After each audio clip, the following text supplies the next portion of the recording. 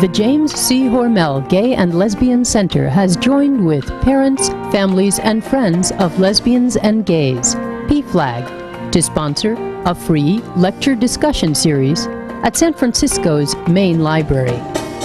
To introduce tonight's speaker, Evan Wolfson, Director of the Marriage Project of the Lambda Legal Defense and Education Fund, here's Jim Van Buskirk, Director of the library's Gay and Lesbian Center. Good evening. And I'd like to welcome you to this evening's lecture. This is the second in what will eventually be a six-part lecture series uh, co-sponsored by the Bay Area Council of PFLAG um, and the James C. Hormel Gay and Lesbian Center. I'm very proud to uh, to be co-sponsoring this event, working with uh, such a great team of people at PFLAG. I'm sure many of you are have are aware of PFLAG, have been to meetings, um, but it's just an incredible group of people. And if you haven't been to a meeting, I urge you to go because no matter where you are um, in relationship to gay, lesbian, bisexual, transgender issues, whether you're uh, coming out as a, a, friend or a parent or an offspring of one of these um, people, are, the amount of love and support is just um, palpable. It's, it's just a terrific uh, organization. And we're really lucky tonight to have uh, Evan Wolfson, who will be um, speaking about the um, Lambda Marriage Project. And um, it's been a pleasure to work with Dodie Goldstein setting up this um, this lecture series. She's the chair of the Bay Area Council of PFLAG, and I'd like to introduce her now. Dodie?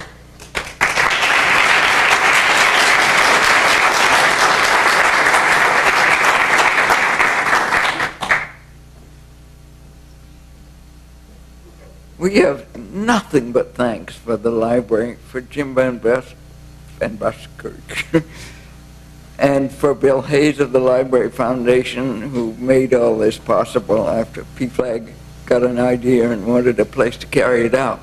It's been great. And I also want to thank the committee that's been working on this lecture series and continues to do so. We're mostly down on the peninsula, and they are a hardworking group, and I thank them. After the lecture, there will be a reception and some light refreshments in a meeting room down the hall, which you will find with no trouble. And please stay for that. You can talk with the speaker and talk with each other. We're hoping that some of you at these lectures will talk with each other about things you have never talked about before, though I know some of you have. PFLAG is an organization that is large and growing very fast. It's international now. It has tens of thousands of members all over the country. And it started 15 or so years ago as a support group for parents who were distressed because it turned out they had a gay or lesbian child. Very upsetting to many parents, as many of you know. And the support of PFLAG has been wonderful for these people and has carried them through, myself included, the early stages of grief and distress. That stage for parents, unlike what it is for children, really is a phase. They go through it. they come out stronger, much stronger, and more educated from the support they get from PFLAG. And then they can start on the other two parts of PFLAG's mission, which are advocacy, trying in all ways to make the world safer and kinder to our gay and lesbian children, and education, which this lecture series represents. All of us as parents have been aware of gay and lesbian issues for a much shorter time than our children have and we need education and are eagerly learning whatever we can. We also think it's really important to help to spread some understanding of concerns of gay and, gays and lesbians to the general population because that will surely decrease the extent of homophobia in the community. There are 10 chapters now around the Bay, and their names and phone numbers are available on the table outside so you can pick them up if you want to get in touch with the PFLAG chapter. Our speaker tonight, as Jim mentioned, is Evan Wolfson. He is senior staff attorney for uh, Lambda Legal Defense and Education Fund, and he is the director of their marriage project. He is also co-counsel for the trial that just ended in the lower court in Hawaii for the couples trying to get married there. He has stellar credentials from an academic point of view, which is my point of view. Yale, Harvard, Columbia. At Harvard Law School, he surprised his professors by wanting to write and writing a paper on gay marriage way ahead of its time. He's still in that field and still feels passionately, as you will hear. He's just back from Hawaii, where the trial just finished in the lower court. You will find him a forceful, authoritative, and most engaging speaker. Evan Wolfson.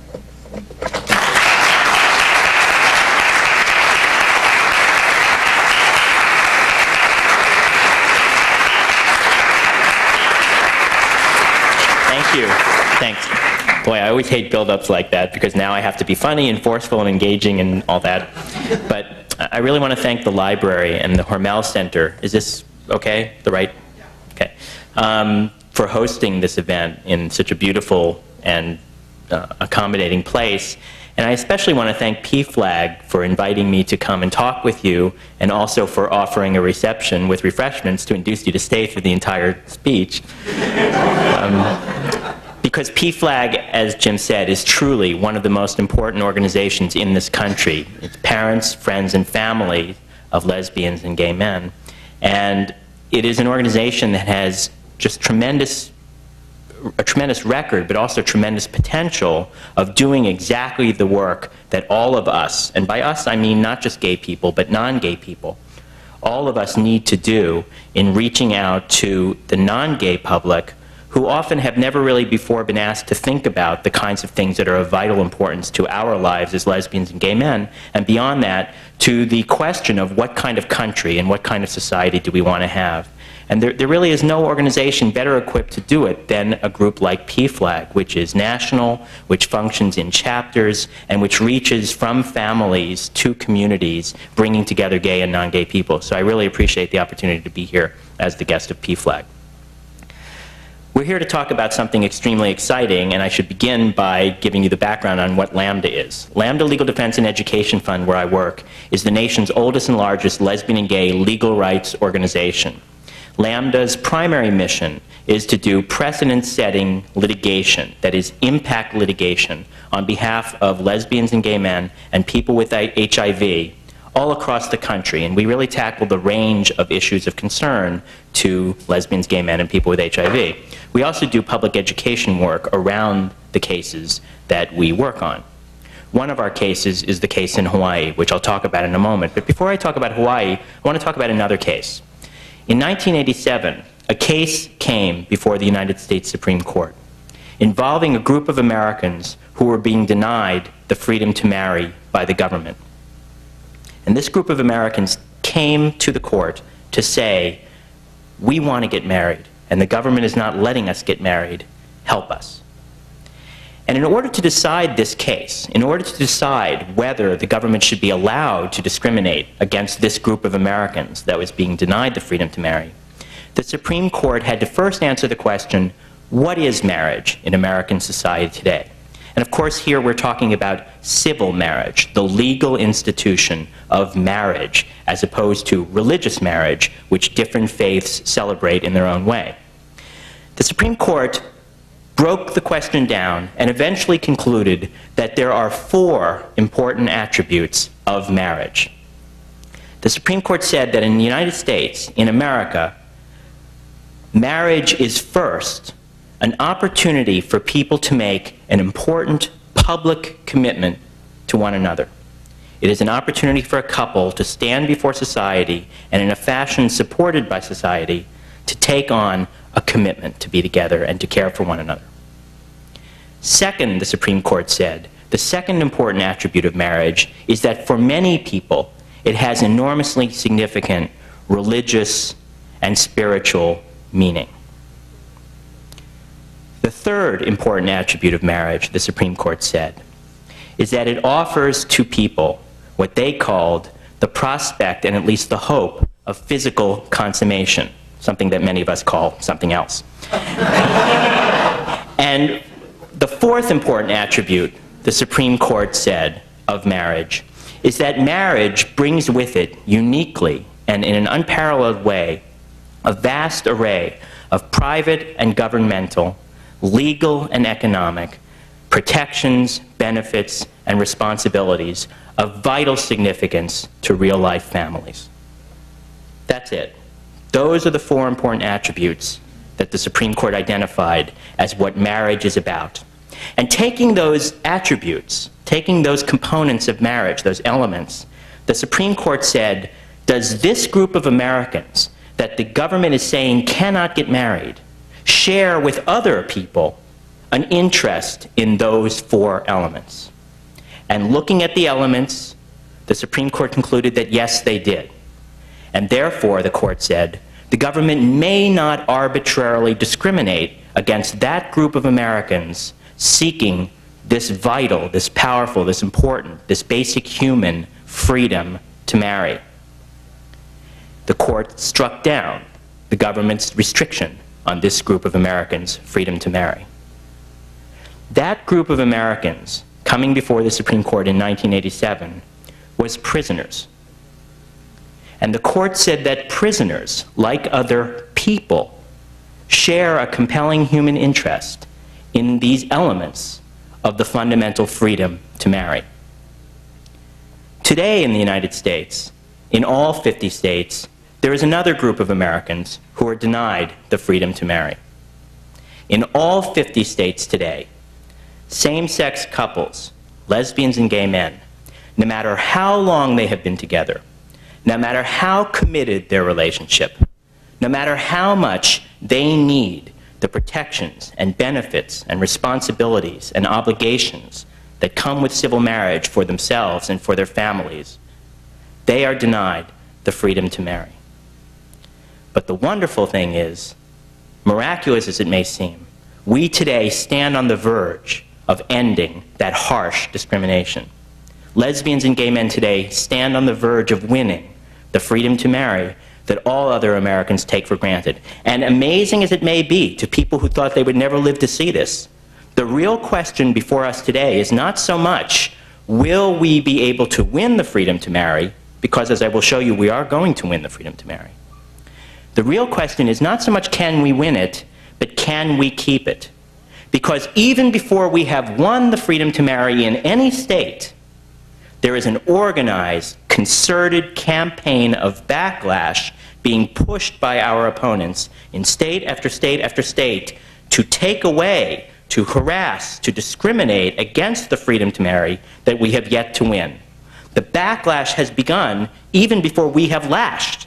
Even before we have won the freedom to marry in any state, they are campaigning to try to take it away, to try to limit it, to try to discriminate against it, and above all else, to try to shut down the public discussion that has begun as non-gay people for the first time are given the opportunity to begin thinking about how the denial of civil marriage harms real-life families. Our opponents don't want people to even have that chance to begin to talk about it. Now, I said that we are on the verge of winning the freedom to marry, and let me briefly prove that to you. I think you're all familiar with the case that Lambda has in Hawaii.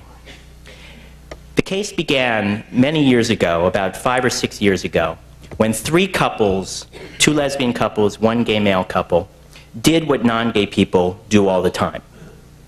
Having met, having fallen in love, having listened to all the music we all listen to all the time, they decided that they wanted to not only fall in love, but get married and make that commitment together. And they, just like non-gay people, went down to the clerk's office to apply for marriage licenses. And the clerk in the state marriage bureau did what clerks do to gay people all the time. He said, get out of here. And they were left, denied the marriage license, and went to court. And they filed a suit saying that the denial of marriage rights was a violation of their constitutional freedoms, their right to be treated equally, their right to get married, the basic human right to get married. And the court, the judge in the lower court, did what judges often do to gay people. He said, get out. Denied them their day in court, said they have no case, get out. And they appealed. And they appealed to the state Supreme Court of Hawaii. And in May of 1993, the Hawaii Supreme Court ruled that the denial of marriage licenses to same-sex couples appears to violate the state constitutional guarantee of equal protection, the constitutional requirement that government treat people equally. But the Hawaii Supreme Court did not order the licenses. They did not change the law. Instead, they said, this is sex discrimination. How do we know it's sex discrimination? We know it's sex discrimination because if I, as a man, wish to marry this woman, I may. But if that woman wishes to marry that woman, she may not, simply because she is a woman. And the court said, if the government wants to discriminate on the basis of sex against American citizens, it's got to show a reason. They didn't change the law, but they did what courts are supposed to do. They said to the government, if you want to discriminate, you've got to show us a reason. And the Hawaii Supreme Court sent the case back down to the lower court to give the state's attorneys an opportunity to either put up or shut up, either come in with a reason or stop discriminating. And in September of this year, just a month ago, we concluded the trial at which the state and we finally had our day in court. And my co-counsel, Dan Foley of Hawaii, and I went to Honolulu, the Honolulu courtroom to hear what is the state's reason for this harsh discrimination and to see if they were able to justify it. And it turned out, in day after day of testimony, witness after witness, piece of evidence mounting on evidence, that now that the government has finally been forced, for once, finally forced to show a reason why committed couples should not be permitted to take on the responsibilities and rights and protections that come with marriage, now that they've been asked to show a reason, they don't have one. And when we get into it later, I'll be happy to tell you in question and answer what were the arguments that they made and what was the reason they offered for this discrimination, and you can judge for yourself whether they were able to justify it. The case went to trial. They had their chance to show a reason. In our view, certainly, they failed to show one. And it is now in the hands of the judge. And as we sit, my co-counsel and I are finishing the final legal papers. The legal arguments will be completed this Friday. It'll be in the hands of the judge.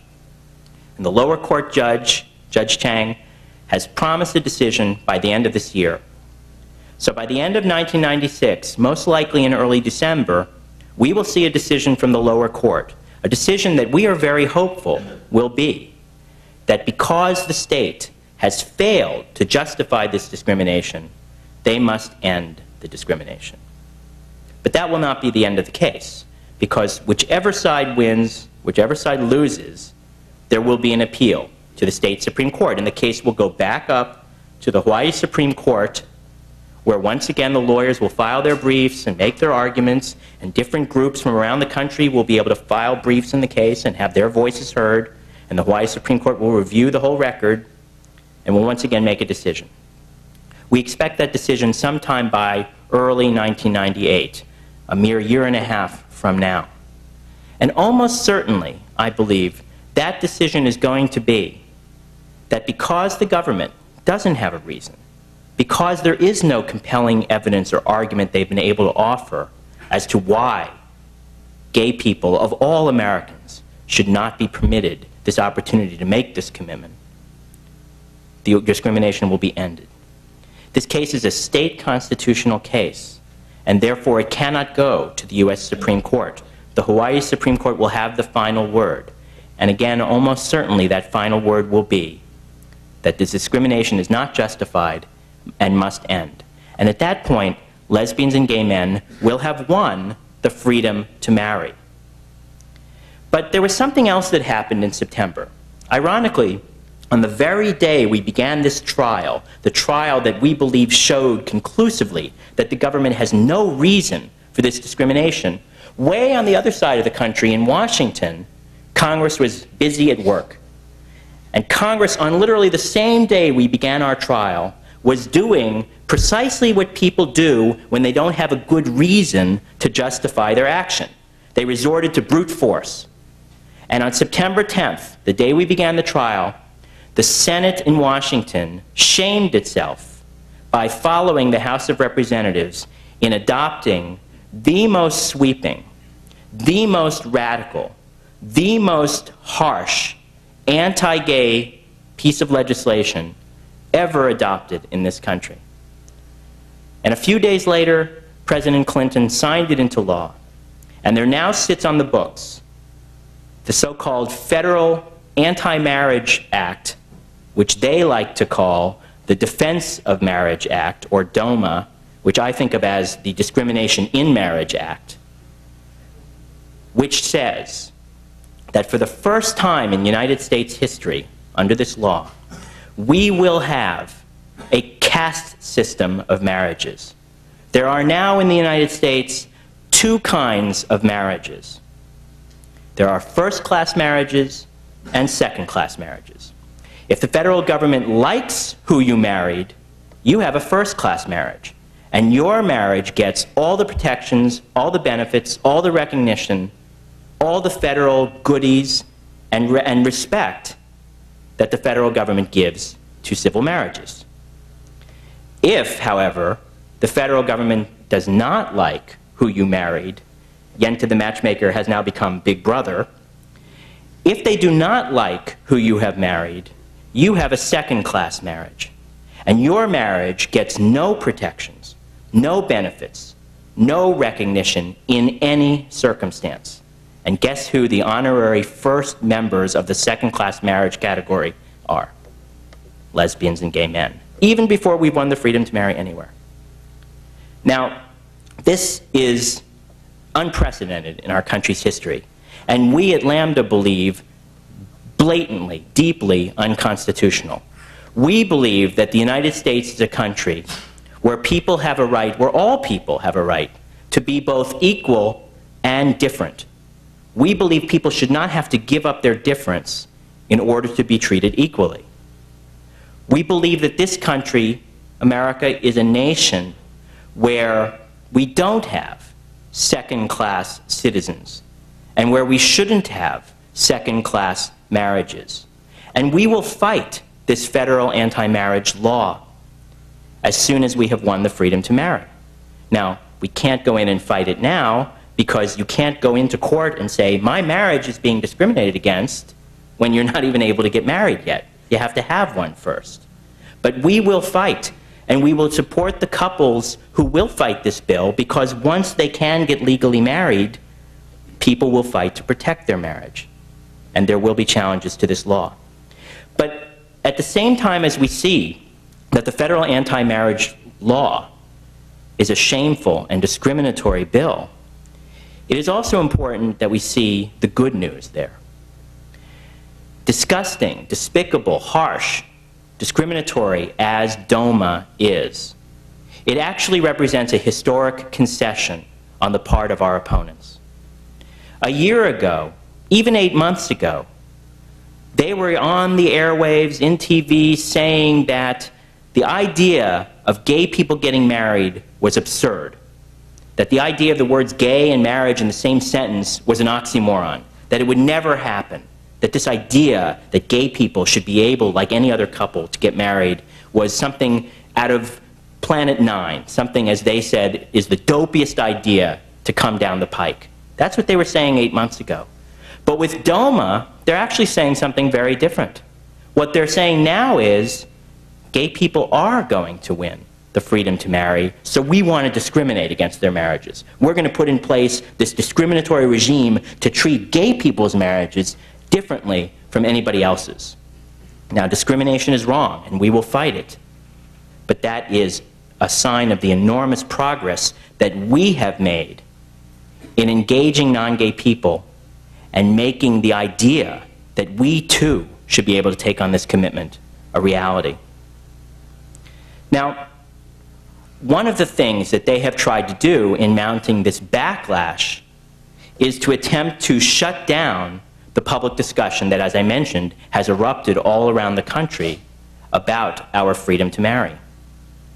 They don't want people talking about gay people getting married because they don't want people, and I mean particularly non gay people, learning the truth about the lives of lesbians and gay men.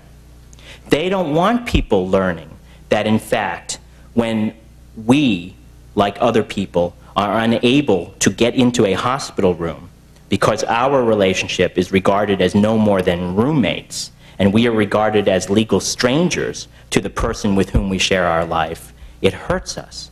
They don't want people to hear stories about how people literally have to pace in the hallway while, while their partner lies injured and in need of, if not consolation, medical decision making and involvement. They don't want people to hear those stories. They don't want people to hear how binational gay couples are often forced to, to the cruel, the, the horrid choice of do I stay in this country or do I remain with my partner? Do I find, do I have to choose between my love and my country? And that there are couples who literally cannot find a place to live on the planet legally because their relationship is not recognized. They don't want people to hear about that. They don't want people to hear that there are lesbian mothers and gay fathers who are raising children. And indeed, not just raising children, but raising children who every single study shows are as happy, as healthy, as well adjusted as gay and non gay as the children of non gay people, as our trial in Hawaii showed. They don't want people to know about that. They don't want people to hear that there is a terrible injustice done when our government says one group of people can be treated as unequal and unworthy. They don't want people to be reminded of the history of marriage in our country. They don't want people to have a discussion that reminds people that there was a time in our country, not that long ago, when African Americans were not allowed to marry at all, even each other. It was a way of saying that they are not fully human, a way of saying that African Americans' relationships and commitments are not worthy of marriage. That was wrong, and we changed it. But there was also a time in our country's history when Asian Americans were not allowed to marry each other, including here in this state. And that was wrong, and we changed it. And there was a time in our country then when we put in place a whole different set of rules, saying that people could not marry someone of quote unquote the wrong race. And that was wrong, and we changed it, but not at the time of the Civil War, not from some ancient blast from the past, but less than 30 years ago. It was less than 30 years ago in our country that we abolished, ended the laws that prohibited interracial marriage. And it wasn't done by Congress. It wasn't done by the legislatures. It took the courts to say, this is wrong, we must change it. And there was a time in our country's history when a woman who married a man became the legal property of her husband. She often lost legal rights by getting married. And that was wrong, and we changed it. And there was a time in our country when marriage was mandatorily for life. No matter how abusive your marriage, no matter how violent, no matter whether your marriage had failed or not, if you got married, you were married for life. And that was wrong, and we changed it. But you know, the history of that change actually tells us something about the battles that lie ahead of us now. Because when the proposal was made to allow people to end a failed or abusive marriage through civil divorce, it took some states to lead the way. And I'm sure people remember the phrase going to Reno. There were a few states that did indeed lead the way, and Nevada was one of them. And people would literally have to leave their home state and go to another state in order to get divorced. And when they did get divorced and came back home, very often in the beginning, they came back home to states that said, oh, well, we don't like divorce. Divorce is against God's law. Divorce is contrary to the definition of marriage. We will not recognize your divorce because it's against our public policy. And literally, this country was a country where many people did not know from state to state whether they were divorced or not, whether they were married or not. And this bubbled around, and cases began, and people began to deal with this uncertainty, and the cases eventually percolated their way up to the United States Supreme Court, which, after this period of ferment and, and tension and uncertainty and bubblings from Congress as to whether they were going to get into the act, the Supreme Court took a look at this and said, no, this is untenable. America is not a country where people should have to go through this harangue of not knowing whether they are married or not. And the Supreme Court said the rule is, under our Constitution in this country, your divorce, if validly performed, must be respected throughout the country. Now, wouldn't there be something a little anomalous, a little bizarre about living in a country that said your divorce has to be honored from coast to coast, but your marriage need not be? That we can actually have people in this country who don't know from day to day or state to state whether their marriage is going to be respected or not? And yet, this is exactly what our opponents and now Congress have said is the reality confronting lesbians and gay men. Even once we win the freedom to marry, even once we get legally married following the same rules as any other couple, making the same commitment as any other couple, taking on the same responsibilities as any other couple, according to the Congress and according to our opponents, it should be okay to say to gay people with their second class marriages that their marriages will become unmarriages if they cross the wrong state border. Their vision of America is literally that for at least for gay people, at least for the beginners, for gay people, this is a country where when we load our kids in the family station wagon to take a cross country trip, we're married, then unmarried, married, then unmarried, married, then unmarried, depending on where we're parking that day. This is what they propose, something that is so laughable that if it were anyone other than lesbians and gay men, no one would seriously contemplate suggesting that that's the kind of country we live in. And yet it is now the law of the land. This anti marriage campaign, mounted by our opponents to block and thwart and deny recognition to our marriages, even before we have begun, did not just take place in Congress.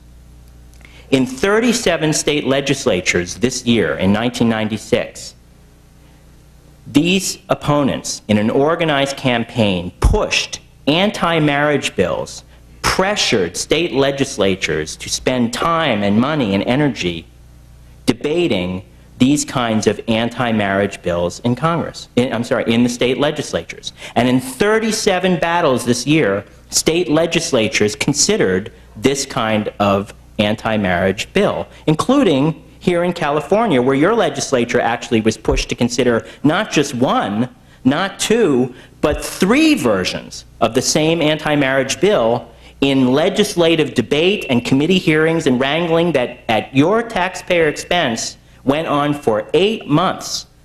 That's what your state government was doing this year. And in 37 state legislatures, including California, these bills were pushed and pressured and used as a way of trying to poison the dialogue about gay people, as a way of trying to erect legal barriers against the marriages we have yet to win, and above all else, from the radical right's point of view as a way of trying to shut down public discussion, to make people think, oh, they voted on it, gay marriage loses, it's over. Rather than giving people a chance to talk about it, to learn about it, to begin thinking about how the denial of marriage harms us. But the exciting thing that happened this year is that it didn't exactly go as they planned. Because in the 37 anti marriage bill battles this year in the state legislatures, we were able to beat them back in 21. On the supposedly unwinnable issue of gay people getting married, it turned out that the American people are actually far more fair minded, far more open, far more reachable, and far more opposed to attacks than our opponents figured. And in 21 states, sometimes by luck, sometimes by drag out battles, as in California, the legislatures refused to adopt these anti marriage bills. In 16 states, however, the state legislatures were pressured into adopting these bills. And for now, at least 16 states have on their books a law that says that a legally married lesbian or gay couple, no matter how long they've been together, no matter how valid their marriage in another part of the country, no matter how much they need those protections and responsibilities that come with marriage, if that couple makes the mistake of driving through one of those states, let alone having the nerve to move to one of those states in their own country, their marriage becomes an unmarriage. Well, guess what? That's not the final word. There will be battles. Because once people win the freedom to marry in any state, most likely Hawaii, they will, of course, fight to protect their marriage, much as interracial couples had to fight to protect their marriages, much as divorced people had to fight to assure that their families were treated as they had shaped their life plan. And once again, this country will grapple with the question what kind of country are we? Are we 50 separate kingdoms where people's equality varies from place to place depending on whether people like them or not? Or are we one nation in which all citizens are equal and where if you're married, you're married? But the truly extraordinary thing that has happened in 1996 is not just the trial where we had a chance to show that there is no reason for this discrimination. And it's not just that Congress adopted this most radical, sweeping anti gay law, and it's not just that 37 legislatures had to grapple and primarily reject anti marriage attacks. The truly extraordinary thing that has happened in 1996, laying the foundation for the work and success to come, is that in week after week after week, month after month, state after state, community after community, there has been in this country, and continues to be, a rich and pervasive and sustained public dialogue about lesbian and gay lives, and about our families, and about our equality, and about our freedom to marry. Non gay people, just this year for the first time, have been asked to think about this, and they are thinking about it non gay people all across this country are talking about gay families and the freedom to marry, and they are open to it. The polls clearly and consistently show that already in this early stage where people have just begun to think and talk and hear the stories and consider the, the injustice, already one third of the American public supports equal marriage rights for gay people. Now, the same polls also show that one third of the public is against equal marriage rights for gay people. One third is not just against marriage for gay people, they are indeed against gay people. If we were fighting not for marriage, but for oxygen for gay people, they, they would be against it. And that third of the public is really not the third that we can hope to persuade in the foreseeable future of our work. But that poll, those polls show that there's another third, the middle third, the third that is not yet with us, but is reachable. And every poll that is more sophisticated, every poll that really looks at this in, in not just an overly categorical way, shows that there are a group of Americans, about a third out there, who are not comfortable talking about gay people. They, they, they would rather not have to talk about it. They are not that familiar with gay people and our lives, although they're much more familiar than they were even a year ago, thanks to the work of groups like PFLAG. And they, however, are reachable. They are beginning to hear about it. They are against the attacks, not yet with us, but open to hearing the stories. And as more and more voices over the course of this year in particular speak up, they are reaching that middle third. This year, for the first time, not just in the history of lesbians and gay men, but in the history of monotheism on this planet, four religious denominations spoke out in favor of equal marriage rights for gay people. Reform Judaism, the largest denomination of Jews in this country, the Central Conference of American Rabbis, the Reconstructionist Jews, the Presbyterian Church USA, the Unitarian Universalists, four denominations fully endorse equal civil marriage rights for gay people, joining hundreds of individual clergy members and congregations from every faith, from the Buddhists to the Catholics to the Episcopalians to the Methodists to the Quakers and on. All of them are beginning to speak out in support of this civil rights struggle. That's new, and that's happening, and that is reaching the unreached and yet to be reached third. That means that as this moves forward, as the case in Hawaii moves forward, we all have a job to do. And indeed, we actually have two jobs to do. The we here refers not just to gay people, but to non gay people who care, not just about gay people, although you don't have to be gay to know someone gay. You don't have to be gay to have a gay brother or sister, or a gay cousin, or a gay family member, a gay parent, gay children, gay neighbors, gay coworkers. You don't have to be gay to care about gay people. But you don't even have to primarily care about gay people to feel that you have a stake in this struggle over what kind of country we live in. So those of us who care about any or all of these have two big tasks ahead of us in this struggle to win the freedom to marry for gay people, to win full equality. First, we must beat back the backlash. I said that there were 37 state battles. You know there was one here in California. You know that we were able to beat them back this year, but you also need to know they're coming back.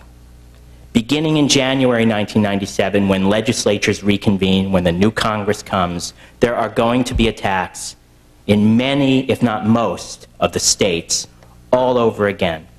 And we will once again have to fight back against these anti marriage bills as our opponents try to shut down the public discussion that is so vital to ending discrimination against gay people.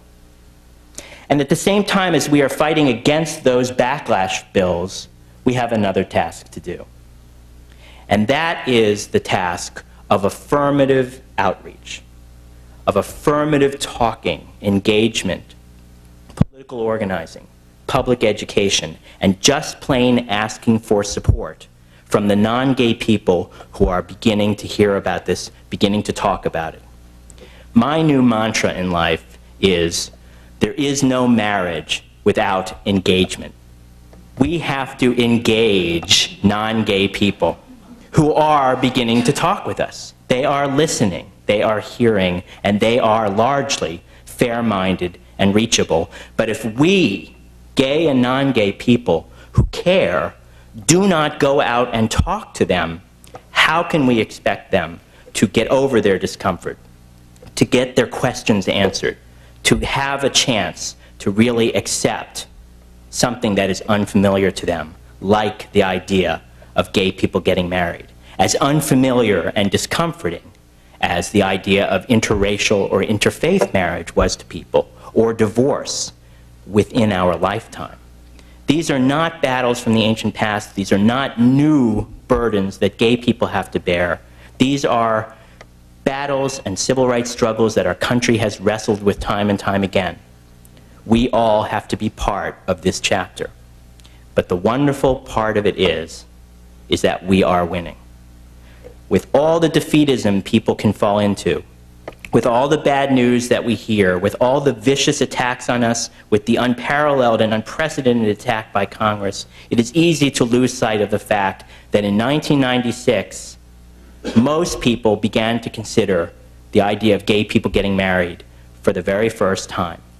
And as 1996 draws to a conclusion, most people are still reachable. Many are supporting us. As our case moves forward, we have to get involved in the battle, the struggle that will take not just weeks, not just months, though there is specific work to be done in each week and each month, but years.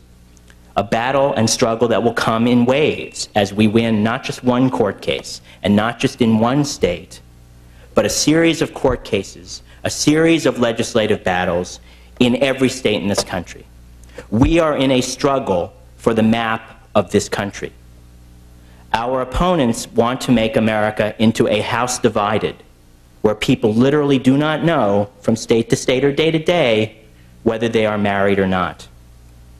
Those of us who care must seize this powerful, resonant cause of civil marriage, of respect for families, as an opportunity to shape the kind of country we want to live in, the kind of country we want for our children, for our friends and neighbors and fellow citizens.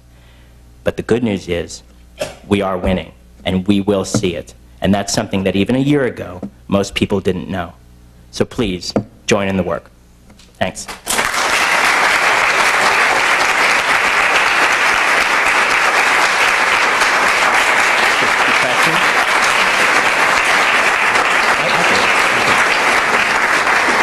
So I'm told that we can do questions and answers, so if people have questions or comments, be happy to take them. Yes. Um, I have two quick questions. One, how do you feel about gay registries that are populating throughout communities right now that kind of have no weight, but how do you feel about that affecting the battle against gay marriage or for gay marriage? And um, secondly, in terms of gay people getting married, do you think, um, it's kind of related to the first one, I feel that it sort of like undermines the commitment part of marriage by allowing people to have the legal recognition without commitment. How do you feel about that? Okay, the first question was how do I feel about the efforts to secure other forms, or at least some preliminary forms of recognition for lesbian and gay relation relationships short of full equal marriage rights? For example, domestic partnership registries or other ways of acknowledging the relationships. I think that's great. I think that any recognition we can give to families to support people's families, including lesbian and gay couples, is a good thing. I think any step we take toward ending discrimination against those couples and those families is a good thing. People should have respect and support and the benefits and protections and responsibilities that come with these things that, that they need, and therefore I welcome it. For example, in this country, we have, we have yet to win the freedom to marry, but we have seen corporations by the hundreds, including most, at this point, or many of the largest and most profitable and leading corporations of this country, as well as universities, as well as cities like San Francisco and other jurisdictions across the country, recognizing that gay people are denied the freedom to marry and saying there's something unfair about this, there's something unprofitable about this, and taking whatever steps they can take, in the case of corporations, totally voluntarily, to create programs, usually called domestic partnership or something like that, to provide recognition and some limited benefits and protections to those families. I think that's great. I think it, it, it, exposes the lie that somehow it will cost society or be contrary to the larger public interest because you have all these corporations doing it. They're certainly not going to do it if it was bad for business or would cost too much money. They're doing it because they recognize it's good. It brings people in. It supports what they want to support their families and the coworkers and their productivity and their morale and their sense of equality and inclusion within that company or within that city. Those are all good things. But they're no substitute for civil marriage. One thing is totally different from the other. Marriage is the central social and legal institution of our society is first and foremost the primary means we give to people who choose to exercise it, and it is a choice. We're not fighting for mandatory marriage, we're fighting for the freedom to marry. But people who choose whether or not to get married are making their choice about what kind of statement they want to make about their commitment and the commitment they want to take on. They are choosing how they want to exercise their equality. And secondly, because it is the central social and legal institution of our society, it brings with it this vast and significant range of protections and benefits and responsibilities, none of which are close to being approached by domestic partnership or registries or the other programs. So it is a good thing, but it is not a substitute. Now, I'm not even sure I, I quite understood You your... actually answered my second Okay. with that last Okay, good. Okay, yes. Can you address the issue of binational relationships more specifically? Do you see that playing out uh, at the federal level, especially with the Doma law?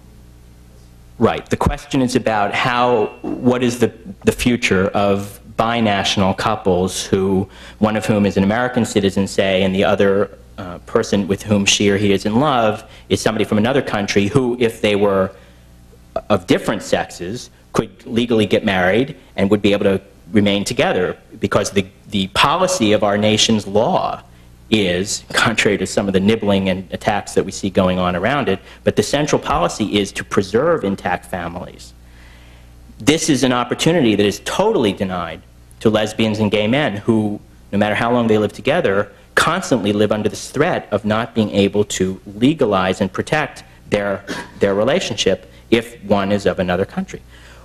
The, that, that discrimination exists now, and it is wrong, and it ought to be changed even without regard to marriage. There ought to be a policy in federal law that implements the goal of preserving intact families that is not solely related to whether people are married or not. We ought to look at the family, not simply the legal criterion of marriage. But it is also true that under this new uh, caste system of marriages in the federal anti-marriage law against gay people, even once we win the freedom to marry, those couples who get legally married and are now as married as any other couple are going to be discriminated against by their federal government, who will, at least under this law, say, we will not respect your relationship, your marriage, for immigration purposes, and they will have to fight. And Lambda and other groups will be there, and I hope that all the other civil rights groups and others will be there fighting with those couples to challenge that discrimination as one more mountain on our march toward equality. The, the, law now mandates discrimination. Federal law now says even when gay people are legally married, their marriages will be discriminated against. I believe that's unconstitutional. I believe it will be struck down. It is one more battle that we are fully preparing to fight. In the meantime, what people need to do is engage, tell those stories, tell those stories. Going to court is not the only way of fighting. People need to hear the stories first, because most fair-minded people, whatever they think they think about the idea of gay people getting married in the abstract, when they see a real-life couple who are being discriminated in that way, who are being torn apart in that oppressive, cruel, inhuman way, not to mention unequal and discriminatory way, I think most people will reject that. And we need to get out there and make sure they, they know that that's what's happening. Yeah. Uh, I'm planning a marriage in uh, the spring of '97, which is somewhat, so I pushed aside my, my Roman Catholic upbringing in Europe, and now I, Who will marry you?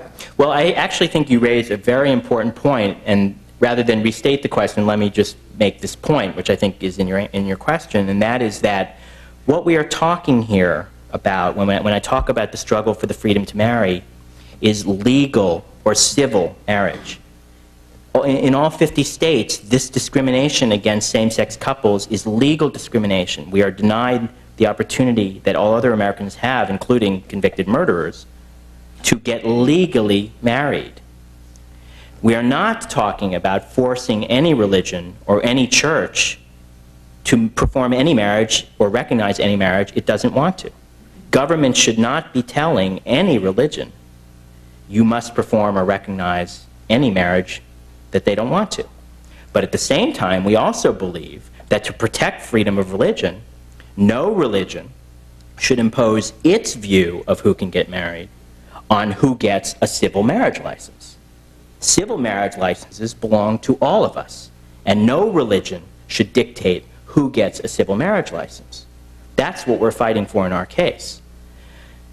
You bring up the point that there are many religions today, as I mentioned earlier, that will marry lesbians and gay men.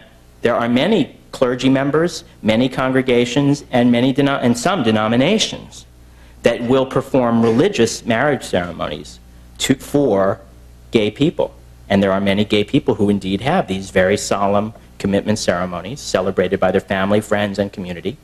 Those are religious marriages. They are religious marriages, but they have absolutely no legal significance. So the short answer to your question is you can get married in terms of your commitment, your faith, if you find a faith that, that marries you.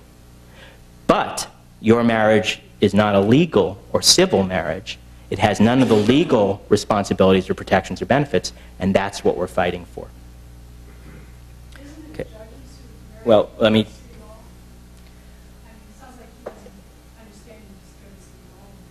Well, no. I mean, the, the question is, it, won't judges marry you? And the answer is no. Judges, judges who perform civil marriage ceremonies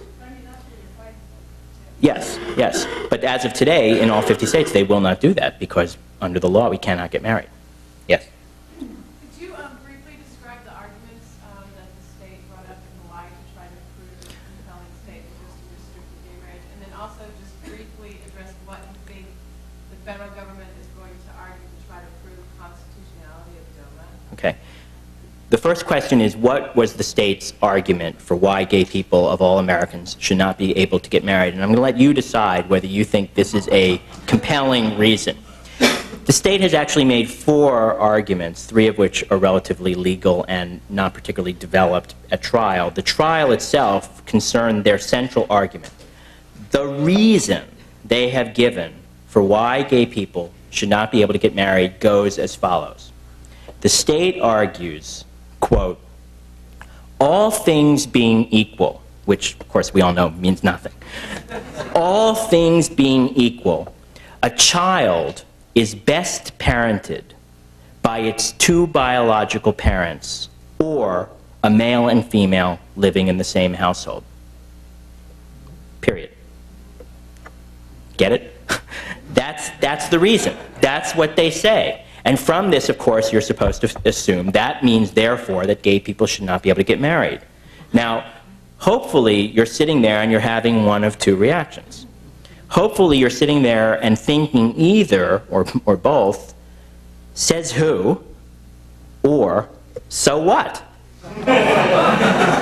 and by says who, what we mean is who says that in this country the government has the power to say there is only one best kind of family and it's okay to treat everyone else worse because there's the best kind of family according to the government. And indeed, at trial, all the evidence, even from their witnesses on cross examination, and certainly by the second week when we put on our witnesses, the overwhelming mountain of evidence was what we all know. There are many good families. There are many wonderful parents, be they single parents, adoptive parents, foster parents, step parents, same sex couples as parents, gay or lesbian parents, who are loving, caring, nurturing parents who raise happy, healthy, well adjusted children. There is not just one best kind of family defined by structure.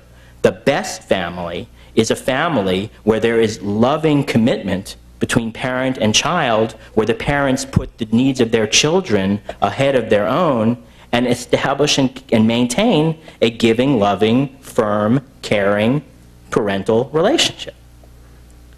So, this idea that the government can designate a best family and punish everyone else is, in my view, truly offensive and certainly contrary to the evidence that we all know in all our lives day to day. But even if you didn't agree with that, hopefully you're going to the next point, which is saying, well, wait a minute. Let's suppose that the government is right. Let's suppose there is a best kind of parent, two biological parents. Let's say they are the best. How, how does it help the children who are being raised by same-sex couples, who are being raised by gay and lesbian parents, who are being raised by the not best parents, to punish them because they don't have the right kind of parents? How does it help those children who are being raised by the not best parents to tell them that their families may not have the protections and benefits and support that come with civil marriage? I mean, aren't those therefore logically the kids who need more help? I mean, don't we all kind of know that indeed many people get married without having children, who don't intend to have children, who never can have children, who may be too old to have children, who are on their second marriage and do not wish to have more children? I mean, don't we allow those people to get married? Is there any state in the country that issues a marriage license with a sunset provision? You know, where people have two years to cough up a child or, or, lo or lose their license? Do we do that in this country? And I take it by your laughter, you see that we don't.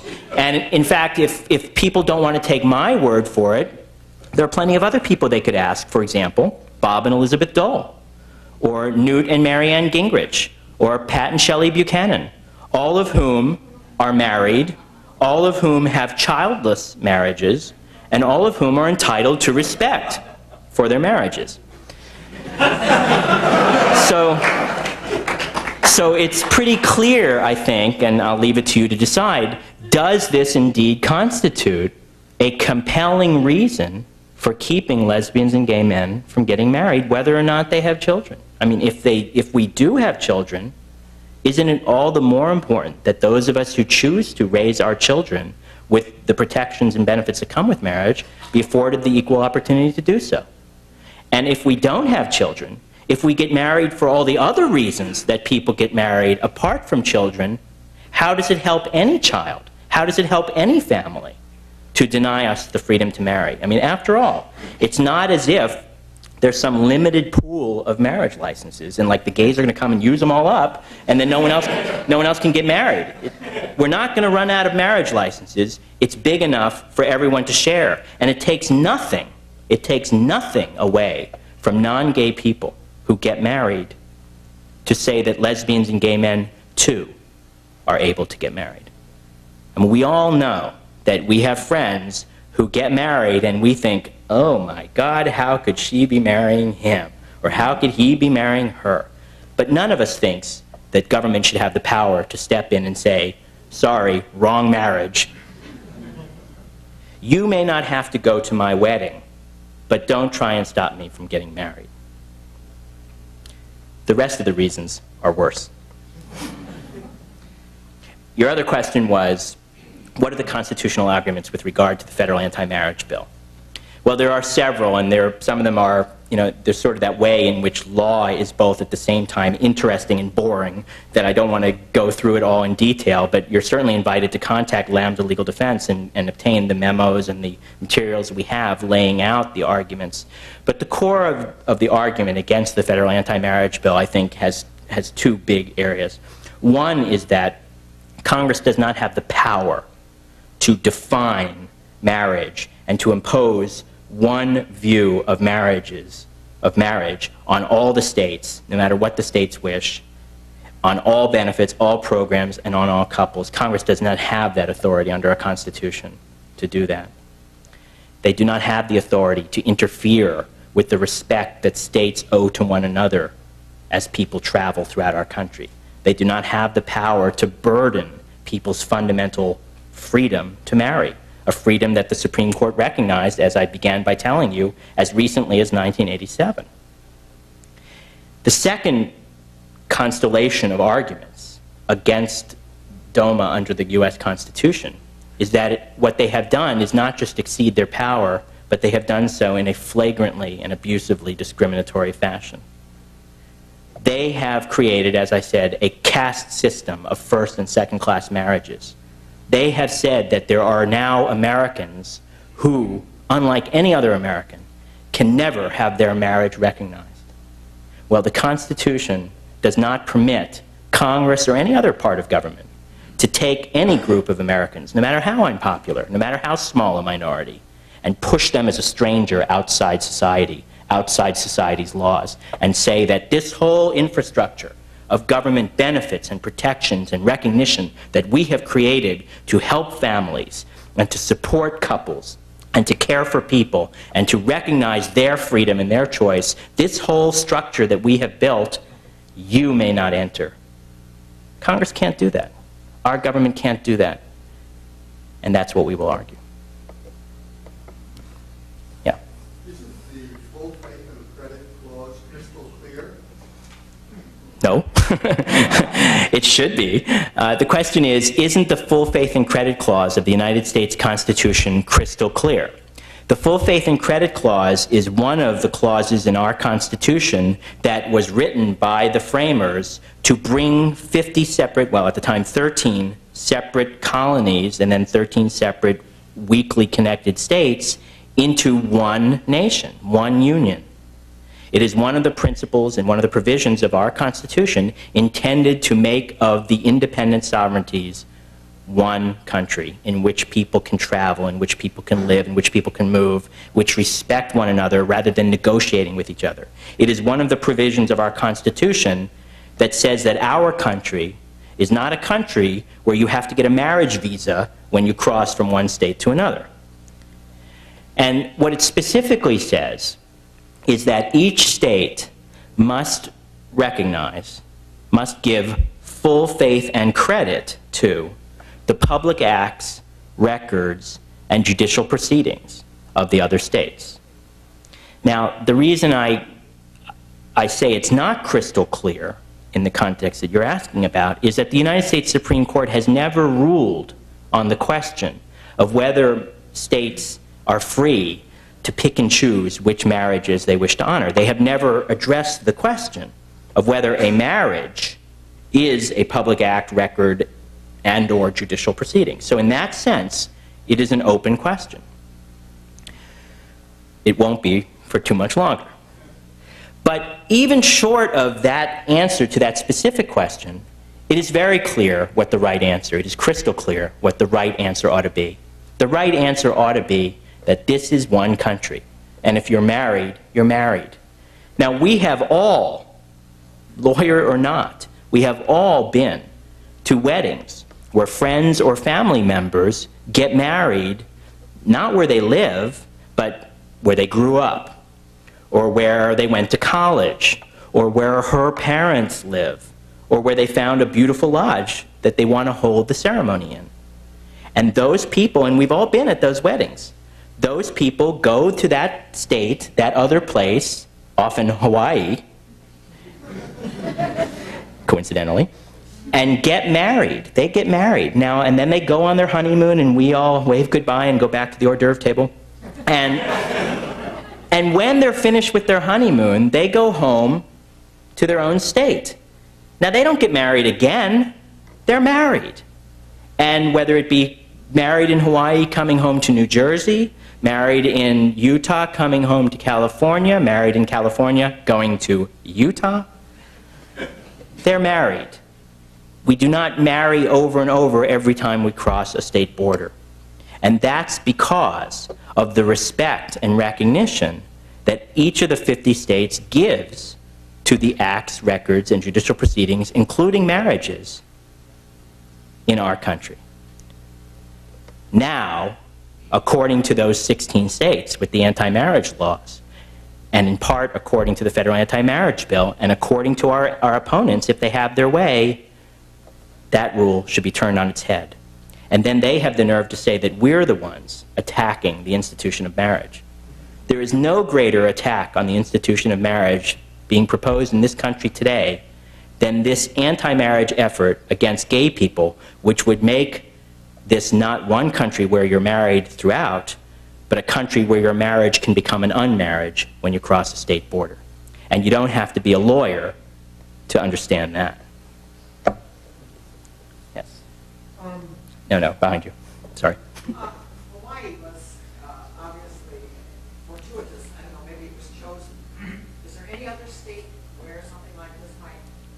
go through the courts? Right. The question is, uh, there are actually two questions. One is, how did, it, how did Hawaii become the one where this is starting? And then secondly, are there other states where this will also likely happen? Um, the answer to the first question is that it, it, really was fortuitous that it began in Hawaii, although there are reasons why it succeeded. And, and I mean, these are real live couples. They're all still together. They all still are deeply in love, and they all still want to get married. And they're all from Hawaii. That's how it began. It was not some brilliant strategy on the part of you know a little cabal of gay geniuses who decided to make Hawaii the fulcrum for you know universal change. It began because these people were in love, and even against the advice of many of the gay groups, they went ahead and began this case ultimately then supported by, by the groups and lawyers and so on. Um, that's, that's, that's the main answer. The reason, on, on, the other hand, it is also important to remember that they are not the first couples who, who felt that it was wrong to deny them the freedom to marry and went to court. There have been litigation, there have been cases brought by same-sex couples for going back more than two decades now. All of them lost. Why did this case begin succeeding in Hawaii in a way that every other case before and even a few since have lost? A mix of reasons, but I think they're largely related to the fact that the Hawaii Constitution offers very specific foundation for the court to rest its ruling on. But those, the arguments in that foundation, in that Constitution, are arguments and a foundation that could be found in other states and even under the United States Constitution. So that's not the whole answer, though it is a help. A second element is that Hawaii is not just a, a state that has a good legal basis, but also has the appropriate, a good, a rich political climate. Hawaii is a state, it's the, it's the only majority non-white state in the country. It is the most diverse, the most multicultural, and, and I think fair to say certainly among, if not the, most respectful state of diversity. A state that, that truly believes in inclusion, truly believes in respecting different cultures and, and allowing people who are different to be equal. It is a, is a state that has tasted bitterly of the experience of discrimination and, and refused to be part of it. It is, the first state to ratify the ERA, the Equal Rights Amendment, abolishing uh, sex discrimination or prohibiting sex discrimination. Uh, it, is the, it is the first state, it was the first state to um, permit abortion. It is the state that has the broadest universal health care program. So this is a state that has taken steps toward bringing people in and respecting people. And third, it is a state that has a very strong and enlightened Supreme Court. It is a state that has a young Supreme Court. It is a baby boomer court. And all these factors, I think, played a significant role in why it is Hawaii that is leading. Although by no means, I think, the only state. And that goes to the second part of your question.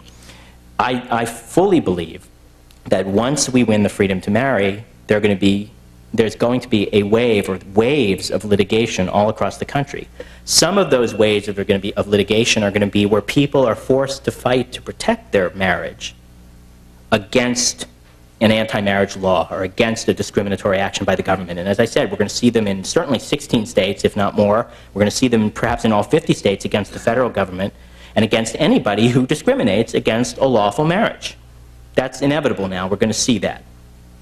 I also think we're going to see, after we win in Hawaii, people saying, why should I have to go to Hawaii to get married? Why not here where I live? Isn't this one country? And I think at the right time, people will bring other cases. Right now, we actually recommend to people that people not file litigation right now. There is a promising lawsuit moving forward. We have a lawsuit. What we need more of is not so much litigation. There will be a lot of litigation. What we need more of is the engagement. The other things other than litigation. Political organizing, public education, outreach, working with non-gay people, whether you be gay or non-gay. That's what people need to focus their energies on now as we build a climate of receptivity in this country so that later, and by later I mean relatively soon, but later, judges and legislators can be emboldened to do the right thing because they live in a country or live in a state or community where the work has led to more of a climate of receptivity.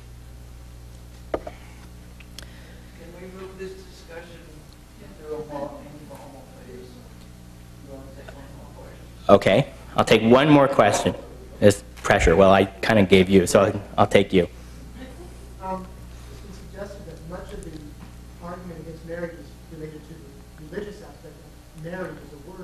Change this, play semantic game of changing to something else, domestic partner, yet with the full legal rights of a marriage, just change that wording, you have a better time sailing this through. Do you agree with that?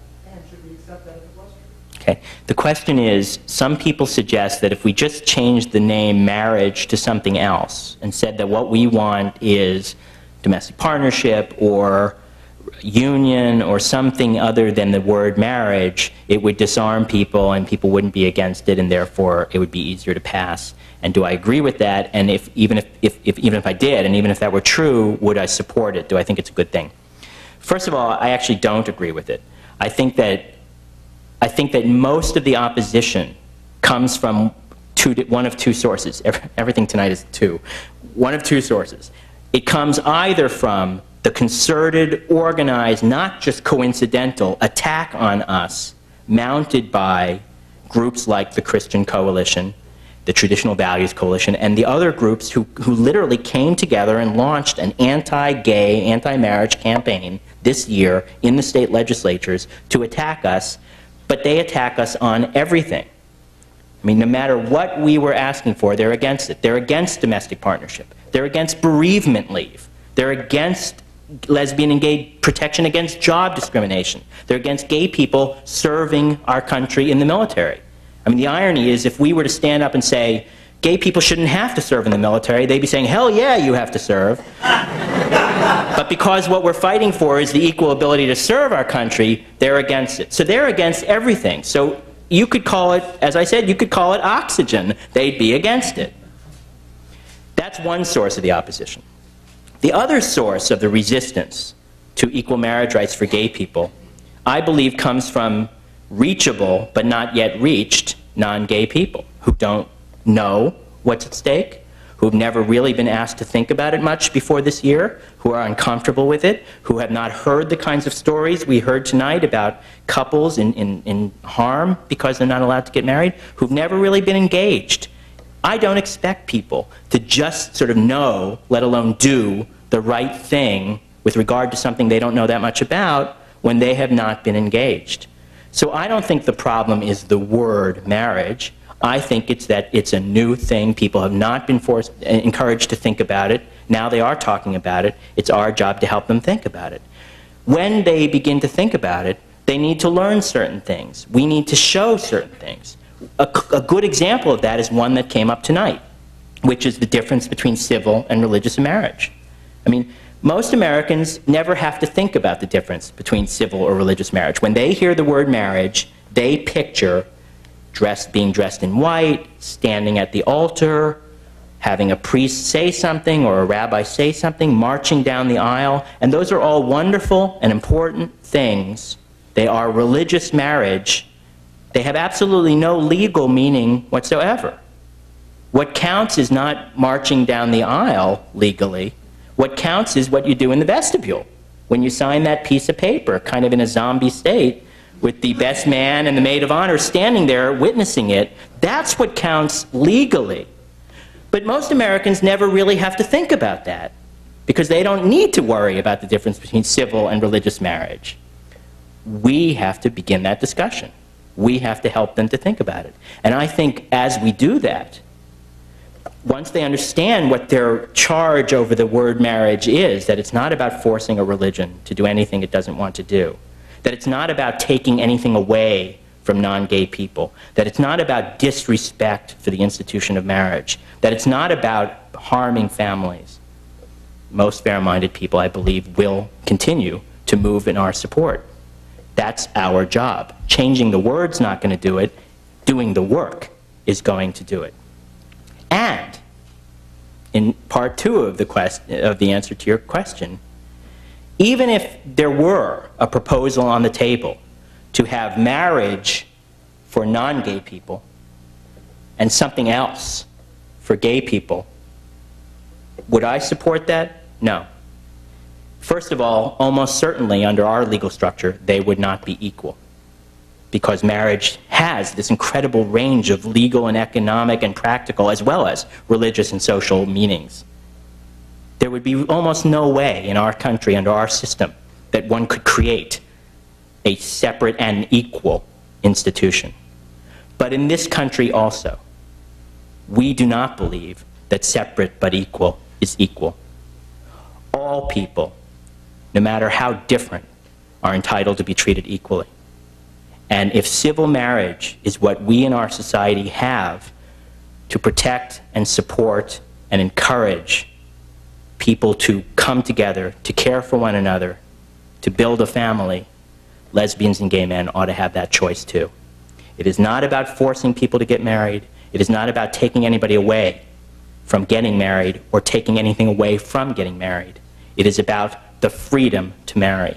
And as the Supreme Court said in the case of convicted murderers, this freedom is a freedom that government should not discriminate against people in. Government should not be telling people, based on their race or their religion or their sex or their sexual orientation, that they cannot get married. The choice to get married is a choice that belongs to the couple, not the politicians, not the state, not the interest groups. It belongs to the couple, and couple means gay or non-gay. Thank you.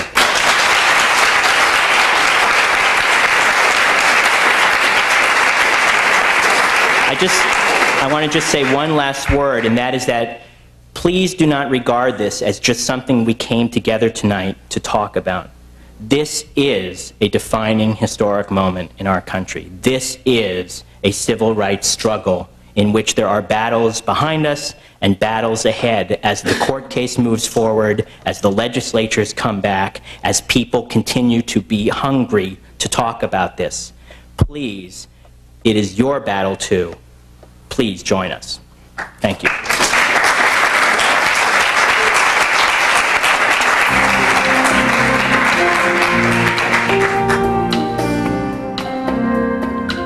Thanks for joining us with attorney Evan Wolfson. Watch for other PFLAG Talks shows, including Kevin Jennings, the executive director of GLSEN, and a talk by historian Jonathan Ned Katz. You can purchase a video cassette of this and others in the PFLAG Talk series by sending a check for $25 to Media Production, San Francisco Public Library, Civic Center, San Francisco, California, 94102.